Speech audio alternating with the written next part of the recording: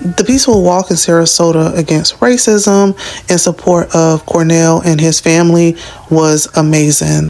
It has been reported to me by inside source that both Stephen Correga and Romulo Nobrega are gone, and I'm sure the neighbors are relieved.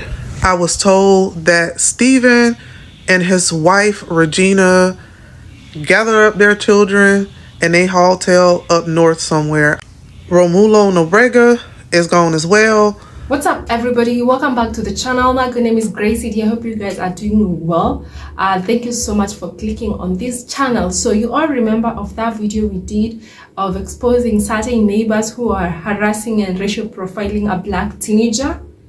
Yeah, I'm sure you all remember. Well, things have shifted very fast after a show of solidarity with a walk against uh, racism and discrimination against black people in Sarasota, Florida, some of the neighbors have moved, like they've shifted and they've done it quietly. So let's watch this video that, uh, you know, the updates of this video and then we'll come back to it. Let's see who moved after they felt that whatever they did and all the backlash that it has come with it after them being exposed on social media, some of them even losing their jobs.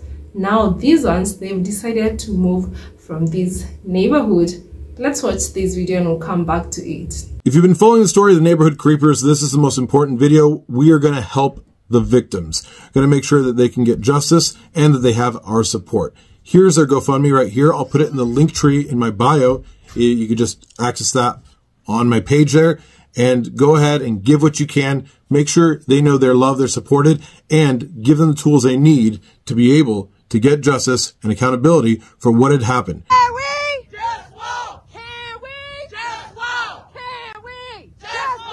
The peaceful walk in Sarasota against racism in support of Cornell and his family was amazing. The turnout was really good, and people from all backgrounds just really showed up and rallied behind this family.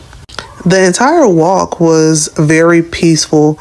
We had a great time. I got to meet a lot of great people. There was no violence and no drama at all. And these people showed up and showed out behind Cornell and his family. Some people from the neighborhood out in Sky Ranch even pulled up and joined the walk. People from that neighborhood also honked as they drove by and waved at us to let us know that we had their support. There's a lot happening and going on behind the scenes. But on TikTok, we're not going to stop and we're not going to let up until these guys are held accountable for the things that they've done to Cornell and his family. No justice, no peace. And walking while black is not a crime. Thank you to all of my virtual family and supporters that showed up. Love you. Bye. All right, y'all. The walk is done. We just finished up, and I'm about to get me a sub because I'm hungry.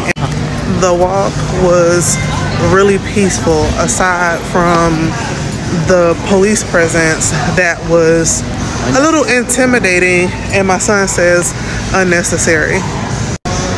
We were peaceful, no one was disrespected, no trash was left behind, nobody went on anybody's property and we showed up to show support for Cornell and his mom.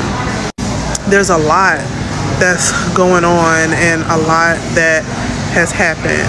But as far as me covering the story, um, I'm going to wait as I hear from the family um, or other verified sources. Because the last thing I want to do is add fuel to the fire um, and bring unnecessary drama to anyone's life. But I do remain steadfast in my commitment to be accurate and be transparent because I know that a lot of you all are following this story and you want to keep up with it. And so I'm going to do my best to help keep y'all in the loop. The march is not the end, it's only the beginning and we are going to continue to apply pressure to those individuals who have been identified and named. Steven has already been um, terminated from his job, and uh, TikTok is doing what it does uh, to get justice. Hey y'all, hey, I'm coming here with a quick update about the incident that has happened out in Sarasota.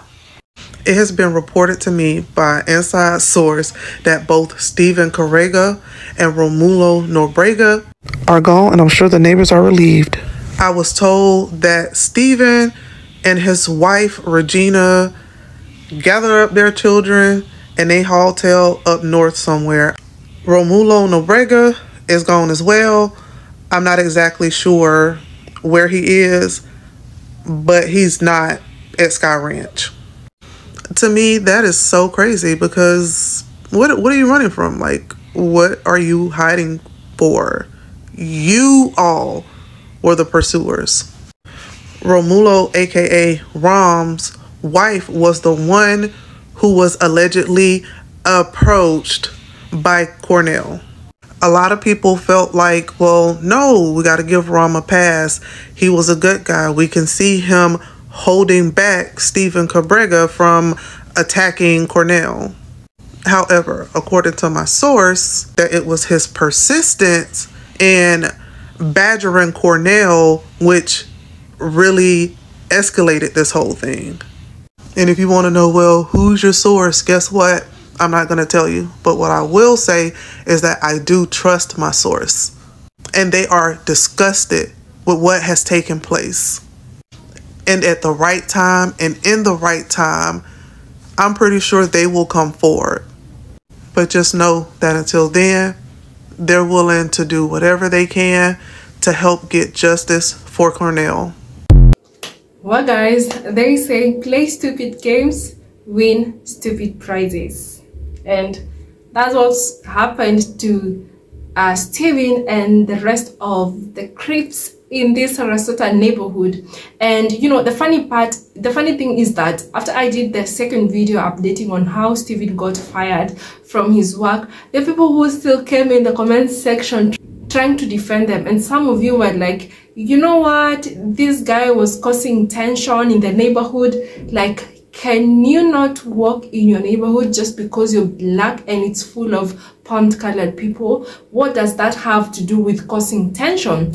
And this guy, one of the guys that moved in uh, secretly, like quietly, is one of the, who the wife who said, who allegedly had said that uh, this guy, Cornell, the kid, had talked to her or harassed her, as we heard the guy saying in the video. And you know, this is something that's happened some times back where a young guy lost his life because what uh, another another guy's wife came on ahead and said that the guy had harassed the wife. This was the same case that was going to happen. And i was asking myself what would have happened if this guy was not recording what was going on? And if you watched the previous video if you've not watched or don't understand what i'm talking about you should go and watch the previous episodes that i've done. I've done two episodes on this. And you know some people are saying ah it's only a matter of time because uh Steven the one who got fired is the one that moved. And some of the people are saying uh they'll just maybe move them to another part of their company. Maybe that is what has happened because he's moved him and his wife has moved and their kids. Maybe they've been moved to another company or something of the sort or the same company in a different location or maybe a different state because let me tell you guys when they had that walk, it created now the tension that they said the kid was creating just by walking around the neighborhood. But when this walk happened the walk in solidarity the walk against racism i think that what was needed for them to see that this was a serious matter. This was a serious case. You just don't go around harassing people who are minding their own business. And i've come to see that following on this social media and all that's happening some of the european americans they don't know how to mind their own business and i don't know why. I don't know why some of you get agitated so much agitated just seeing a black person existing and going on with your life. Uh, it's as if they're taking some of your air or i don't know as if they're taking some of your space whereby you live in a big state you live in a big country you live in a big neighborhood where there's enough space for each one of you but just because you're palm colored person you feel there is need for you to go and harass or attack a black person. I mean it doesn't work like that. If you cannot uh, coexist as a black and white if you're a white person and you don't feel comfortable around the place that you are because they are black people the easiest way is for you to move. If you don't feel safe in a certain neighborhood just because some black uh, people moved into your neighborhood then you can as well go on and move. Because there's no way in this world you you there's no way in this world things to be just working just because you're white you cannot live with black people in your neighborhood. No we're living in 2024 like this is a new era. That white privilege has got to end. If you cannot be able to live with black people how can you even be able like to deal with people when you need help? Because once things happen to you the first people that always come for your rescue before you call the police before you call 911 or if anyone is harassing you in your neighborhood that is not from there and your neighbor is black they're the first person who come to your rescue. But most of you you don't see that when you go on uh, harassing black people just because you feel like they're in your space and they're not supposed to be where you are. I don't know it's because some of them feel so special and they're like no we are here and they are here. There's no way we can be in the same space as them which is quite sad guys. So this is what happened. They've moved and there's still more updates because still people are waiting to see what how the case will go on. People are still fundraising for this family. Some of them are saying they're fundraising so that they move from that neighborhood to go to a different neighborhood because it, like now that they've moved we don't even know what their plans are. We don't know what they're planning against this kid you know because it has costed them a lot.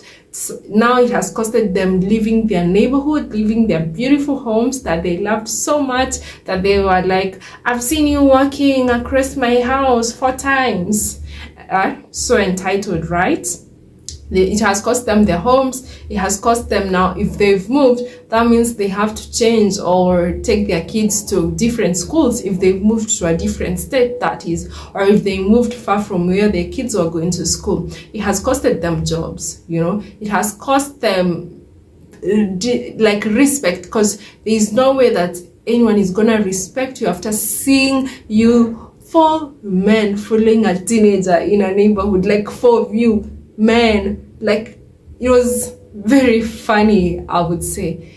It was funny and sad at the same time because i don't understand how even a man you listen to your wife without and then you go on ahead start harassing someone without even thinking twice. Just because you want to show your wife you're masculine enough or you want to show your wife that you protect them enough I understand it's okay for you to protect your wife. It's okay for you to protect your girlfriend, but under what grounds? Because if the wife came on and said that she was harassed, why did she or she and the husband decide to move from the neighborhood? Why did they decide to go from all the tension if at all whatever they were saying it's true? So men out there, before your girlfriend tells you or your wife tells you uh, this and this have done this to me first even find out why have they done this to you. I, I, I don't want to mean like sometimes it's not all the women lie but in in this case and the case of Emmett which he, he lost his life because someone lied. So you have to know what happened for you to get here before you go to take action to your like before taking action. You know there is a video that i saw where black women were being asked who do you feel safe around between a palm colored man and a palm colored woman? And they went on ahead and said I would feel a bit safer with a palm colored man. Reason being because the, the tears of a palm colored woman are very dangerous. For those who know what I mean, you know what I mean. This is why these neighborhood, these neighbors, after being pressured so much by this guy's wife and the guy, they had the audacity to follow this teenager and harass the teenager after all, someone like Steve, who had no business in following this guy, and he came on and said, I've seen you walking across my door four times now, across my house four times now. He lost his job, you know. Now they've gone on ahead and living their beautiful home and their beautiful neighborhood. So some of you palm-colored people or palm-colored men, when your wives come on and tell you this and this happened. Because i've seen crazy Karens online and social media doing crazy things. And palm colored women that do this like what's uh, wrong with you? Because i don't understand how you can just stand there and say that this kid harassed me when they've not done it and you're there comfortably and you got these crocodile tears crying. Oh I mean, it's crazy. So, palm colored men, before you go on ahead attacking someone or harassing someone just because your wife told you they did this to me, you first need to make sure that it, they really did. You need to make sure that they really harassed that kid. They really harassed your wife. You need to make sure that whatever your wife is saying is not just out of stress and emotions and hate towards black people. Because that is what happened in this case that is what happened with this wife, with this lady.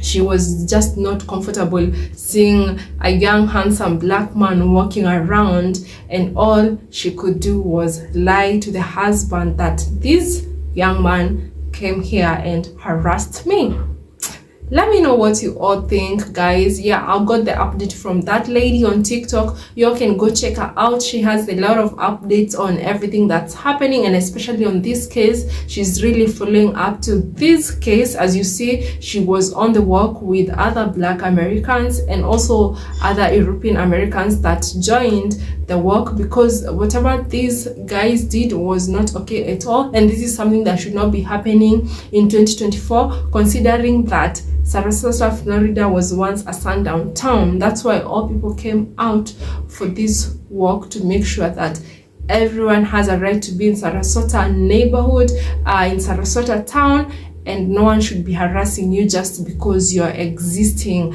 not hurting anyone, not committing any crime. Let me know what your thoughts are on the comment section and thank you so much for watching up to this part and if you haven't yet subscribed to the channel kindly consider subscribing. And until the next episode bye